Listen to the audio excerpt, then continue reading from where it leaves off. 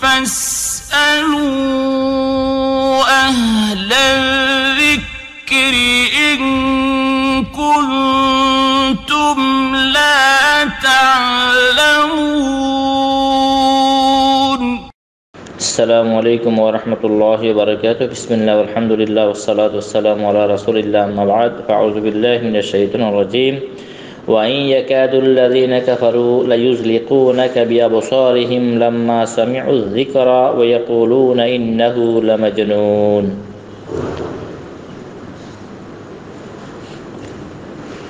আজকের যেই বিষয়টা নিয়ে আলোচনা করব সেটা হচ্ছে বদ নজর লাগা সম্পর্কে এবং তার প্রতিক্রিয়া কি এবং তার থেকে আমরা কিভাবে রক্ষা পেতে পারি সুরায় কালামের একান্ন নম্বর আয়াত আল্লাহ তবরক তালা বলেন, অবিশ্বাসীরা যখন উপদেশ বাণী কোরআন শ্রবণ করে, তখন তারা যেন তাদের দৃষ্টি দ্বারা তোমাকে আছাড় দিয়ে ফেলে দেয় এবং বলে, এ তো এক পাগল। যদি তোমার জন্য আল্লাহর প্রতিরোধ, প্রতিরক্ষা ও হিফাজত না হইতো, তাহলে কাফেরদের হিংসা দৃষ্টির কারণে তুমি বদনজরের শিকার হয়ে পড়তে। অর্থাৎ, তাদের কুদৃষ্টি তোমাকে লেগে যেত। ইমাম ইবনে কাসির রহমতুল্লাহ আলাই এই অর্থে বলেছেন, তিনি আরও লিখেছেন, এ থেকে প্রমাণিত হয় যে বদনজর লেগে যাওয়া এবং আল্লাহর হুকুমে অন্যের উপর তার প্রতিক্রিয়া সৃষ্টি হওয়া সত্য। যেমন অনেক হাদিস দ্বারা এটা প্রমাণিত। এই আয়াতের প্রেক্ষিতে আমরা বলব, রাসুল সাল্লাহ আলিয়াল্লাম বদনজর বা মানুষকে আমাদের দেশীয় ভাষায় বলা হয় যে কুদৃষ্টি দিছে, যার কারণে তার এই সমস্যা হয়েছে। অনেকের এমন কিছু দেখল, তার কাছে দেখে সে আল্লাহ বরকত দান করুক মাশা আল্লাহ এই ধরনের কিছু বলা নাই। সে এটা দেখে আমাদের দেশে বিভিন্ন শব্দে বলা হয়, যেটা আসলে ঠিক না। তখন ফল গাছের ফল পড়ে যায়, যদি ফল, ফলের উপরে চোখ পড়ে, তেমনই মনে করেন কোনো মানুষের সৌন্দর্যের যদি নাকি তার নিকটে আশ্চর্যবোধ হয়, তখন সে এরকম ভিন্ন কিছু বলে যে, তোমার মতো সুন্দর তো আর কাউকে দেখি নাই। এইভাবে বলি দেয়। তাইলে এই সমস্ত কারণে মানুষের ক্ষয়ক্ষতি হয়, এটাকে বদনজর লাগা বলা হয় বা কুদৃষ্টি বলা হয়। এটা সত্য। রাসুল সাল্লাহ সাল্লামের হাদিস দ্বারা এটা বোঝা যায় আল আইন হাক্কুন, বদনজর, কুদৃষ্টি, এটা সত্য, এটার দ্বারাই মানুষের ক্ষতি হয়। প্রথম কথা হচ্ছে যে কিছু আমল আল্লাহ তালা রাসুল সাল্লামের মাধ্যমে আমাদেরকে দিচ্ছেন আমরা যদি নাকি সকাল, সন্ধ্যা তিনবার তিনবার করে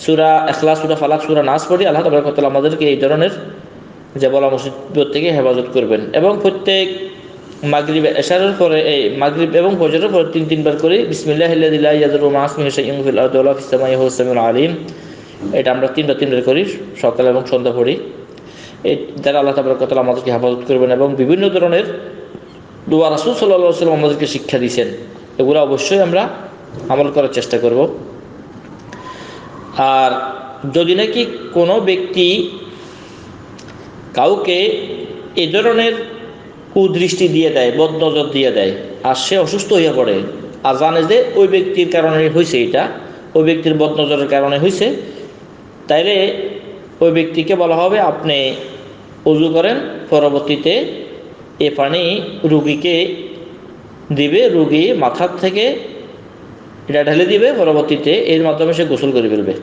এই বিষয়ের উপর একটা হাদিস সহি মুসলিমের মধ্যে আছে, আব্দুল ইবনে আব্বাস রাদি আল্লাহ তালাহমা থেকে। নবী সালাম বলেন আল্লাহ আইন হাক্কুন, বদনজর, এটা সত্য। ওয়ালা উকানা শাইন সাবাকাল কাদার, সাবাকাতুল আইন। যদি নাকি ভাগ্যের উপর কোনো জিনিস থাকতো, ভাগ্যকে পরিবর্তন করা, তাইলে অগ্রগামী হয়ে যেত এই কুদৃষ্টি বা বদনজর। ওয়াইজা ইস্তাকসাল তুম ফাকসিরু যদি নাকি তোমার নিকটে, তোমাদের নিকটে গোসল তালাশ করে, যে তুমি গোসল করে পানি দাও, তাহলে তুমি গোসল করে পানি দিবে।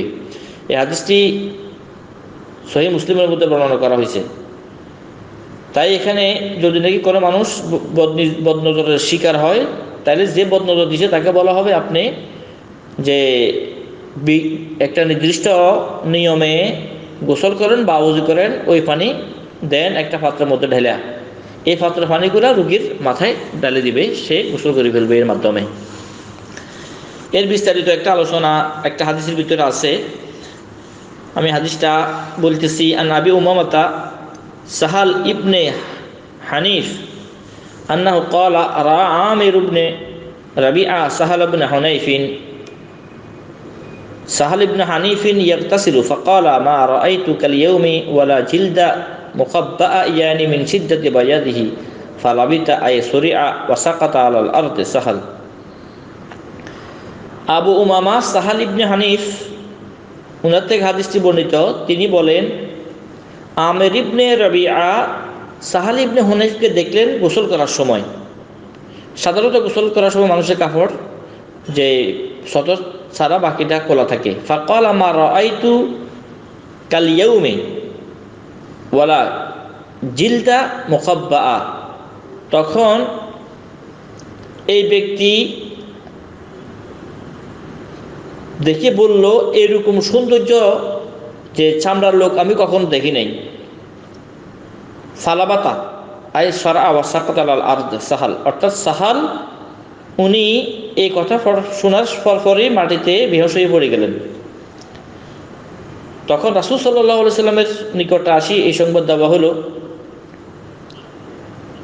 তো ফাকিলা ইয়া রাসুল আল্লাহ হাল্লা কাফি সাহাল ইবনি হানিফ, ওয়াল্লাহ মা ইয়ারফাউল আসা হে আল্লাহ রাসুল, সাহাল ইবনে হানিফের যে দুর্দশা এই ব্যাপারে আপনার কোনো চিকিৎসা আছে কিনা, সে তো মাথা উঠেতেছে না।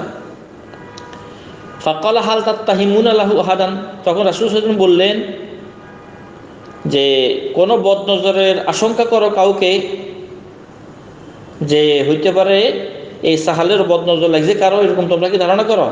কলু না তাহিমু আমের ইবনে রাবিয়া। আমরা না, আমের ইবনে রাবিয়াকে এ ব্যাপারে যে দোষী মনে করি। কলা ফাতা রাসুল্লাহ সাল্লাম আমেরান তখন আমির ইবনে রবিয়াকে রাসুল সাল্লাম ডাকলেন। ফাতাকাইয়াজ আলাহি নবী সাল্লাহ সাল্লাম তার উপর। যে রাগ করলেন ওয়া কলা আলা মা ইয়াকুল হাজুকুম তোমরা তুমি কেন তোমাদের এক ভাইকে হত্যা করে ফেলতেছ? আলা বারাক্তা, তুমি কেন বরকতের জন্য দোয়া করো নাই? বারাক আল্লাহ আলেক বলার দরকার ছিল, বাবা মাস আল্লাহ বলার দরকার ছিল। সেরকম না বলিয়া এমন কথা বলছো যে তার মতো সৌন্দর্য যে দৃষ্টিগ্রস্ত মারার হয় নাই। এইটা বলার কারণে তো তার ক্ষতি হয়েছে ইয়তা সিল্লাহু তুমি বিশেষ নিয়মে গোসল করো। ফাগাসাল আমির ইবনু আমির ওয়াজহাহু ওয়া ইয়াদাইহি ওয়া মিরফাকাইহি ওয়া রুকবাতাইহি ওয়া আতরাফ রিজলাইহি ওয়া দাখিলাত ইজারিহি ফি কিদহিন।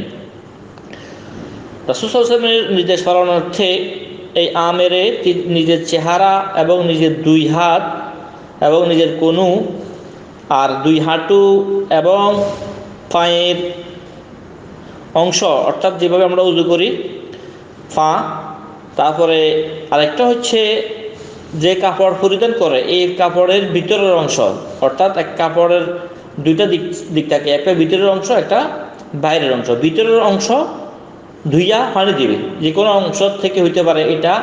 তারপরেও বিশেষ বিদ্যান্তের মতে কথা হচ্ছে যে, নিচের অংশের যেটা আমাদের উপরে, যেমন মনে করেন যদি নাকি পুরুষ হয়, লুঙ্গি পরে বা পায়জামা পরে বা মহিলা হলে সায়া পরে, যে অংশটা উপরে কোমরের সাথে লাগা থাকে, ওটার ভিতরের অংশটা ধুইয়ে দিবে। ধুইয়া পানি কোথায় দেখবে? এই সবগুলোর পানি দেখবে একটা বালতির মধ্যে। সবগুলো অর্থাৎ চেহারা ধুইবে, হাত ধুইবে, তারপরে মনে করেন হাঁটু ধুইবে, তারপরে পা ধুইবে, এরপরে কাপড়ের যে নিচের অংশ ধুইবে এগুলো ধুইয়া পানিগুলো রাখবে একটা বালতিতে। এভাবে রাসুল সাল্লাহ আলাইসাল্লাম তাকে নির্দেশ দিয়েছিলেন আর সে এভাবে করছে। সুম্মা সব্বা আলাইহি ফারাহা সাহাল ইবনু সাহাল মান নাসি লাইসা বিহিবাস এভাবে করার পরে সাহালের উপর পানিগুলা তার মাথার উপর ঢালি দেওয়া হলো। আর মানুষদের সামনে আলহামদুলিল্লাহ যে সাহাল সুস্থ হয়ে উঠল, তার আর কোনো অসুস্থতা বাকি থাকল না। এই একটা যে ইমাম মালিক রহমতুল্লাহ আলাই এবং মুসলিম আহমদ ইমনে মাজার মধ্যে উল্লেখ করা হয়েছে, হাদিসটার মান হচ্ছে সহি। তাইলে এইভাবে যদি নাকি কোনো সময় কোনো ব্যক্তি এরকম আক্রান্ত হয়, তাইলে যাকে মানুষ সন্দেহ করবে যে এই ব্যক্তি যে কুদৃষ্টি দিছে তাহলে ওই ব্যক্তিকে এই নিয়মে যে তার বিভিন্ন অঙ্গগুলো ধুয়ে তাকে পানি দিবে। আর একটা নিয়ম হচ্ছে, যে ব্যক্তি অসুস্থ, ওই ব্যক্তির পিছনে গিয়ে বালতিটা তার মাথার উপরে পানিগুলো ঢালে দিবে। বালতির পানিগুলো তার মাথার উপরে ঢেলে দিবে তার পিছনের থেকে। এভাবেই অন্য রাবায়তের মধ্যে আছে। আর কথা হচ্ছে, যদি নাকি কে তাকে কুদৃষ্টি বা বদনজর দিশে জানা না থাকে, তখন বিভিন্ন দোয়া কালামের মাধ্যমে শেফা নিবে। যেমন আমরা জানি, সুরাতুল ফালাক, সুরাতুল নাস, এগুলা যার ফুক করবি, ফুক দিবে বা এগুলার মাধ্যমে যে ফানিতে ফুক দিয়ে গোসল করে দিবে। এভাবে আরও দোয়া কালাম পড়বে আউজবি কালিমাতিল্লাহ হিতামাতি মিনসারিমা কালাক এভাবে করতে থাকবে। যদি নাকি কে দৃষ্টি দিছে, এটা যদি নাকি জানা না থাকে। আর অনেকে এটা অন্যের উপরে এমনিতে সন্দেহ করে, এমনিতে সন্দেহ করবে না, বরং যদি নাকি বাস্তবে যে প্রমাণিত হয় যে অমুক ব্যক্তির এখানে আসলে বদনজর লাগছে বা কুদৃষ্টি লাগছে, তখন ওই ব্যক্তি থেকেই বেশিটা নেবে। মোট কথা হচ্ছে এখানে যদি নাকি এমন কোনো ব্যক্তি আক্রান্তের শিকার হয়, তাহলে যে বদনজর দিবে, তাকে বলবে সে যেন কি করবে? প্রথমে কুলি করবে পানীয়গুলো ওই বালতির মধ্যে রাখবে। তার পরবর্তীতে হ্যাঁ তার চেহারা ধৌত করবে পানিগুলো বালতির মধ্যে থাকবে। তারপরে দুই হাত একেবারে কোনো উপর পর্যন্ত ধুইবে পানিগুলা বালতির মধ্যে রাখবে, তার পরবর্তীতে দুই হাঁটু ধুইবে পানিগুলো বালতির মধ্যে রাখবে। তারপরে দুই পা পুরোটা ধুইবে পানিগুলো বালতির মধ্যে রাখবে। এরপরে তার কাপড়ের ভিতরের অংশ সামনে, সামনের উপরে যেটা নাভির সাথে লাগানো থাকে, ভিতরের অংশ, এটা কি করবে? ধুইয়া পানিগুলো বালতির মধ্যে রাখবে। পরবর্তীতে রুগীর মাথার উপর যে পিছনের থেকে ডালে দিবে। আশা করি বিষয়টা বুঝতে পারছেন। বাকি আল্লাহ আলম সব। সালাম আলাইকুম রহমতুল্লাহ বারকাত